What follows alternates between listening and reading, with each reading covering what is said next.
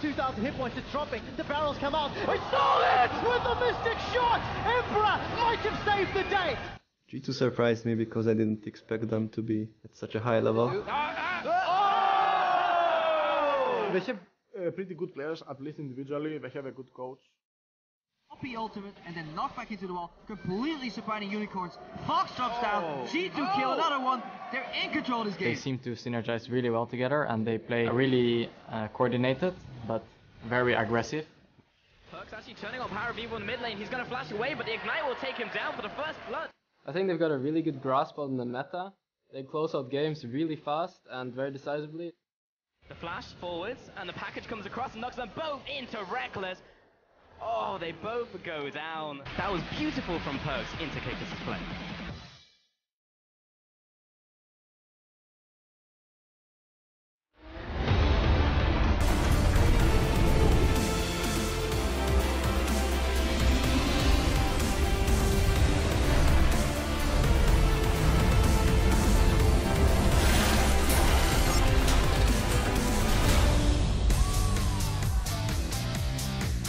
Welcome to the European League Championship Series. We're coming to you live from our home in Berlin, Germany. As you can see what's going on here in the studio, Elements walking in as they are up against OG in the very first game of the day. There we see them setting up on stage as well. A well-needed or a very important game rather for the both of them. And that's what our fans know as well. The Fnatic fan there, super cheerful, um, cheering on his team later playing the match of the week versus G2 and all the rest of the fans as well. Hello, I'm Evie Sjokz de Poortre, here to break down all of today's big plays, misplays, and replays with the help of James Stress O'Leary, Richard Pulse Cam, and Martin de Fiscio Lynge. Uh, good evening. Welcome to week six already, gentlemen. It's going so incredibly fast. Time flies when you're having fun, and it's uh, going to be a fun week. We got some big, big games today. We definitely do, and it's a lot of fun already. Now uh, that we've officially crossed the halfway point of the spring split, it is time for our teams to kick it into high gear if they want to make playoffs. You talk about fun, but the playoffs are on the line. G2 and H2K are still grappling for the top spot, while Vitality and the UOL are tied right behind them. Fnatic and OG round out the top six, which is not something we expected coming into the season. Uh, no, coming into the season, obviously not with Origen. I even called them the best team in the start of the split, and that didn't happen. We've seen some bad games from Origen. Now we're more used to them being in the middle of the table, honestly, and both for Fnatic and Origen, we're just kind of waiting for playoffs and see if they can manage to then climb towards the top spots or not. Well, you don't have to go too far down beneath them to find Giants and Roccat, who are fighting. Still, their goal right now has to be that seventh, th- seventh place spot, that spot that misses relegations. That's what they're fighting for, both only on one win right now. Yeah, and our very first game of the day is for the sixth spot. Elements will have their chance to climb into that sixth place in just a few minutes when they will face Origen. Roccat then will look to start their fight out of relegation territory against Splyce. And later on, it is our match of the week between Fnatic and G2 Esports Pulse. Yeah, super excited for that one. I mean, G2 have just looked so good from week to week, and that's not what we were expecting coming into the split. Like, we thought Origen were going to be the best team, but G2 coming from Challenger have shown such potential and then have acted on it from week to week. Did lose a game last week, you know, the first one they lost in quite a while, and it was a bad game, honestly, for G2 in terms of how they were team fighting. Normally they're super aggressive and very coordinated, but they missed a lot of engages. That's what happens when you play a fairly risky style. One or two mistakes and the game is over. Can't do it today against Fnatic because Fnatic is a good enough team to punish those mistakes. And now we get to see what Fnatic can do with an extra week practice with Klaj and that support. I'm excited to see these two teams head off. An extra week of practice and an extra week of things to deal with as we are going to be playing on patch 6.3 here today. First up, what was hit by the nerf bat? Of course, Corki, Graves, Poppy, and Ryze very seriously. So many nerfs to the, the top tier champions, the biggest of which probably is Ryze. We're not expecting Dead. to see him. Yeah, a lot of players talking about how he's just gone. Corki, small damage nerfs, still expecting to see him though. Yeah, I think the key thing is Corki, Poppy, Graves are still going to be strong picks. I honestly expect Poppy to remain almost where she is at this point. And it just depends on the team. Do you want to play pure tanks or do you want more carry potential from a Poppy? Do you want the mix that she can bring? Because obviously she has a good laning phase and then becomes fairly tanky. She's still going to be played.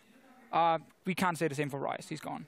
Yeah, a lot of champions have moved down the tier list, but some have gone up, such as Kog'Maw, who got buffed on this patch. His W now has a minimum damage. He does so much damage just with one or two items in that spike. He hits a bit of a lull when he's going towards the Guinsoo's as first item, but once he gets there, it's insane damage. He's good, but people are overrating him big time. and that doesn't mean he's bad. Again, I'm saying overrating. Yeah. You know, he Yeah. goes from one We know what num- number one to number two. I'm just making sure people like to take it out of context. um, he's going to be a good pick, but I think he's Hmm. going to be a bit of a trap. Yes. Because you need to have like a comp build around him to protect him, because he needs to almost stand still and just hammer away to do maximum DPS. We're gonna see games where, where teams will leave it open, draft like very hard engage against him, and ban out like Lulu, Janna potentially, and then he's gonna suffer. So I'm expecting him to be open in some of the games, but he might also be banned in some of them. A bit of a mix. I'm on the same page with that. I also think that another champion that went up in the tier list with a couple of tweaks is Gragas. I even think to the point where I would say he's going to be an influence in almost every game this week. Just from what we saw in Challenger, he's a good solid form of disengage. He had a couple of tweaks that were versions of nerfs previously. And I feel like in the current meta right now, you can run Strength of Ages, still get damage. I on it. agree so far. and I just think he's going to be such a strong presence in the jungle that uh, we're going to see a lot of him. The official. I think we will see some Gragas. I don't think we will see him every game at all. I think still like Nidalee, Kindred, Rek'Sai, Lee Sin, these picks will be there and they will battle Gragas for that spot. He's going to be a solid like tier 2 pick because Nidalee is the tier 1 right now that everyone wants to get uh, go for, but it's going to be banned in most of the games. You can pick him if you want a frontline tank. His ganking is uh, his early game is not the greatest. His ganking is fine, but like his one v one against the strong junglers we have now is not going to be the greatest. If he falls behind, he's super weak.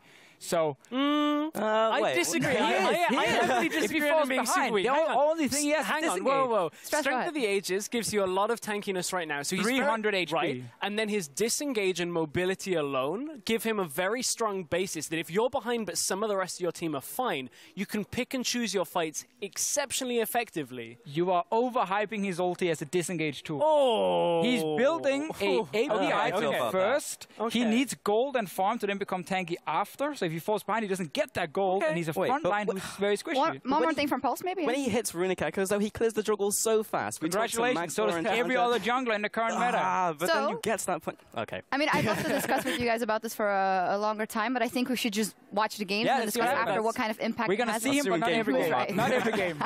we will see. Uh, something else we need to touch on, though, for the assassins or the AD assassins, Duskblade coming in the mix, how much we will see it, how much will, it will um, up the prevalence of picks like Zed. There's been a lot of talk, Kog'Maw, Gragas. What about Zed, guys? Uh, I mean, Duskblade, it looks very fancy on paper. Very good stats from the item. It's actually 100% gold efficient just from the stats itself. Problem is, I feel like there's so many other items you still want to build on Zed before you go for Duskblade. And I still feel like there's so many picks in the meta that counter Zed, like Lulu, Tahm Kench, a lot of the tanks up in top lane. So we might see a little bit more of Zed, but I don't think he's going to be like a massive power pick just because of Duskblade. Yeah, I kind of echo that because you don't really build it first item. It's more like a second or a third one. And because it's a passive, not an active, only very few champions really benefit from it. Because if you just accidentally auto attack someone, you just lost a two minute cooldown. So I don't think we'll be seeing it like every single game. And I don't think it will mm. bring up those AD assassins to tier one. The last change we have to talk about is the change to dragons. Dragon 2 and 4 have been adjusted, uh, given a little bit more strength, but it's not enough to force people to fight over every single dragon. So if you get four dragons, five dragons, it's going to be a bit stronger, but it's not game changing. All right, we'll see what happens. And with the new patch in play, we want to know what you are predicting. Tweet at LL Esports with the hashtag EULCS and tell us what do you think is the most impactful change of patch 6.3 and why. There's a lot that our guys have discussed here. We'll see what happens. For now, though, we're going to dial in on the action and our first match of the day between Elements and Origen. Elements will tie OG in sixth with a win today, and that statement alone is kind of surprising uh, looking at last year and especially at how we thought Elements would be doing. They did break their losing streak last week. A five-game losing streak is now uh, gone, so that should be a mental stimulus for them. Yeah, it's almost ridiculous. Like coming into the split, we just didn't think this would be the case, and right now there's a very real possibility that Elements could even up with them, or even surpass Origen.